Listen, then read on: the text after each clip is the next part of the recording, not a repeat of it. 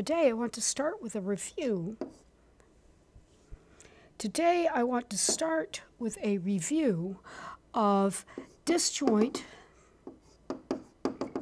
cycle decomposition inside of SN. And the easiest thing to do for a review is to remind you that if we take a permutation, say inside of S6, and let's send 1 to 3, and 2 to 4, and 3 to 5, and 4 goes back to 2, and 5 will go to 6, and 6 will go to 1, that we find the disjoint cycle decomposition of this matrix basically by tracing. We start with 1 and we ask where does 1 go? And we find out that 1 goes to 3. So we go back and say 1 goes to 3. Now, the next part of this is to then say, okay, well, where does 3 go? 3 goes to 5. And so as a consequence, we write down 3 goes to 5. And now at this point, we're looking for 5, and 5 goes to 6, so we wind up writing 5 goes to 6. And then we, of course, ask, where does 6 go? And 6 goes back to 1. Now, it's important to understand that we've already got a 1 inside of our cycle, so we basically say that 6 goes back to 1 by putting a parenthesis at the end of the cycle. And now we quickly look and we see one, we don't have a 2. So we look and say, well, where does 2 go? Well, 2 goes to 4. And then, of course, where does 4 go? 4 goes back to 2. And so 4 goes back to 2, and that means we can just put a parenthesis. And now we, if we actually do our counting, we've got one, two, three, four, five, six. They're all accounted for. This particular permutation does not have any one cycles in it. And so we're basically done. It's also important to understand that if we are given a cycle that is written as permutations uh, uh in decomposition, as a product of if we're given a permutation that is written as a product of disjoint cycles, and let's make one that's kind of complicated here. One, two, three, four, five, uh, six, seven, eight. Okay, so there's our permutation. This one has three uh, cycles in it. They are disjoint.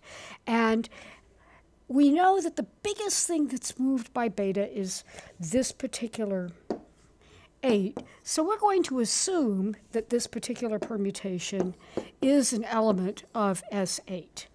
Now, if it's an element of S8, that says that beta has a two row notation that looks like 1, 2, 3, 4, 5, 6, 7, 8. And we again find the second row by just doing tracing. So 1 goes to 7, and that means that we say 1 goes to 7. And now what we look at is 7 goes to 8. And what happened? 7 goes to 8. So we look at 7 goes to 8. And then we have 8 goes back to 1. And so we have 8 goes to 1. And that completes the first cycle. So then we move on to the second cycle. And in the second cycle, we see that 2 goes to 4. So we write 2 goes to 4.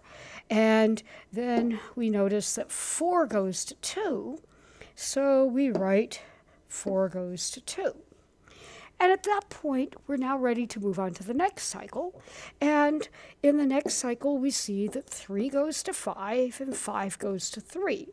So 3 goes to 5 and 5 goes to 3. Now at this particular point, we notice that this guy doesn't yet have anybody below him. And what that means is that he's fixed by this permutation. So in two row notation, we wind up having that 6 goes to 6. Now, there are a couple of other things that are important to remember about uh, disjoint cycle decomposition. And the first one is the big major theorem that we looked at just before spring break. And that's that every permutation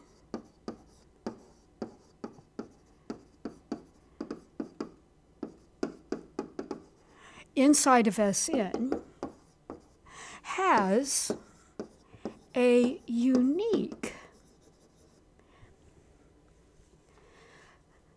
disjoint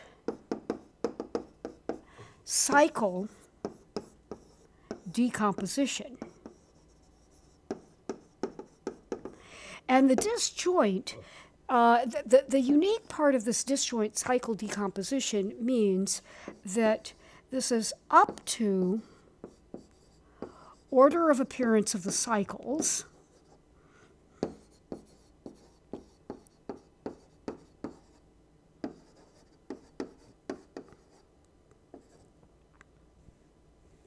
That's needs some correcting. So let's get back to writing cycle correctly. And the second thing about uniqueness is that uh, we don't care about one cycles. So it's unique up to the inclusion or exclusion of one cycles. So to come back to this particular permutation, uh, we could have written beta, we could have squished in a 6 goes to 6, and that would not have changed the uh, actual uh, way of thinking about beta's disjoint cycle decomposition. So one thing though, is important to realize is that we also learned how to multiply permutations together in disjoint cycle decomposition form. So if we're given two if we're given the disjoint cycle uh, compositions for two permutations, so we'll make alpha that one, and beta is going to be 1 goes to 7 goes to 3 and uh, 2 will go to 5. And these are both going to be inside of S, we're going to make it inside of S7. So it's important to realize that uh, given this sort of thing, since uh, six and seven don't appear in alpha, alpha fixes six and seven, and uh, since 4 does not appear in beta, beta fixes the element 4. 1, 2, 3, 4. Oh, and it all, uh, beta also fixes 6.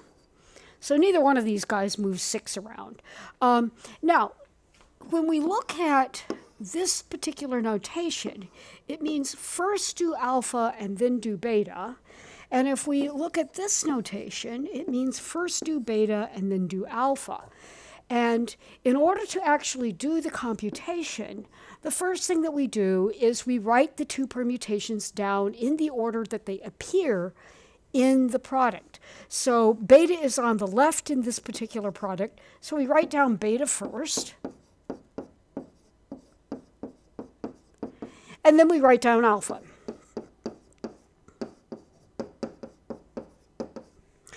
In this particular one, alpha is on the left, so we write down alpha first. And then we write down beta. 1 goes to 7 goes to 3, and then 2 goes to 5. Now, in both of these, the way that we actually find the actual answer is we're going to start on the back side and we just trace through the elements. So let's get rid of that little stray mark. And uh, we usually typically start off with one, and I'm going to do the top one first. And again, it's a matter of tracing through what happens. One, oops, starting on the wrong side there.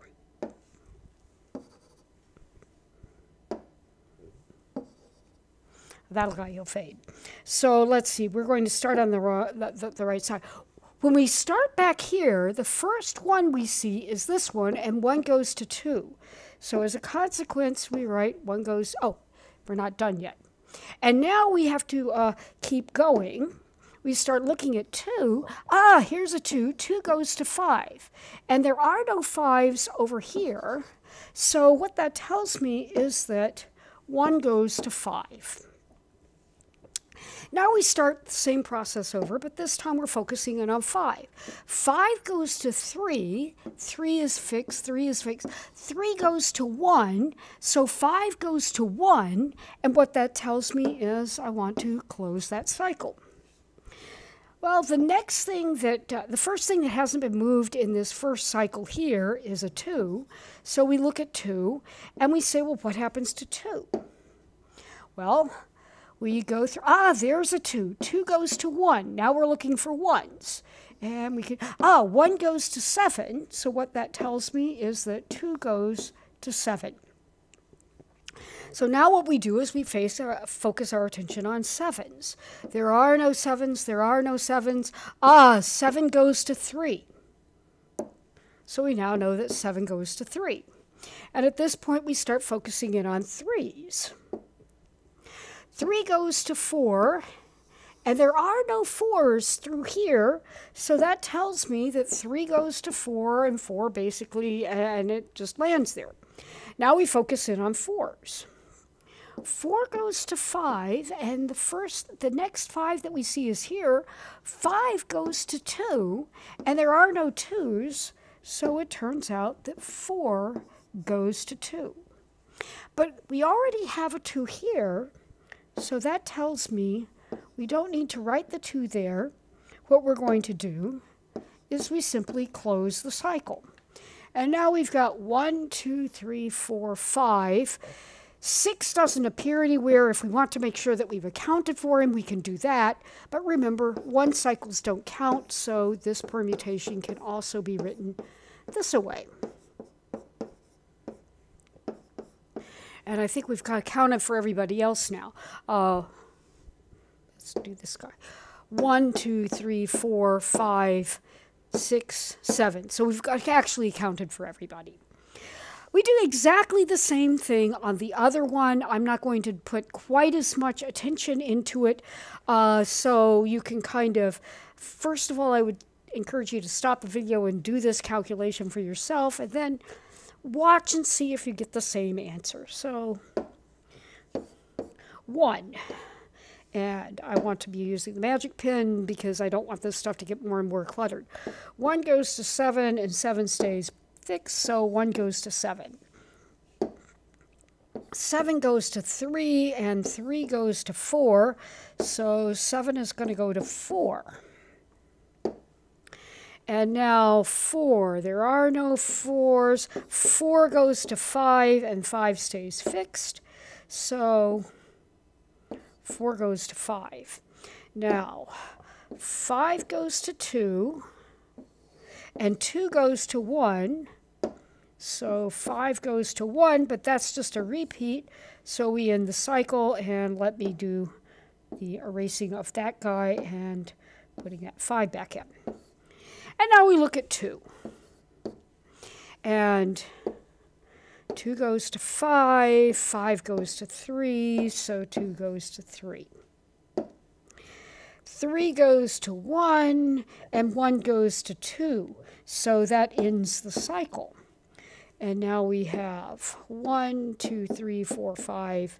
We have a six cycle if we want to do it. We can write that, but this is completely optional.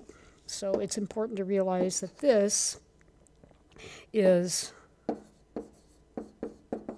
optional.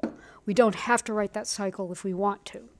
So the other obvious thing that we want to realize is that First do beta, then do alpha is usually not the same as first do alpha, then do beta. And that is long enough, so let us now try to stop the recording.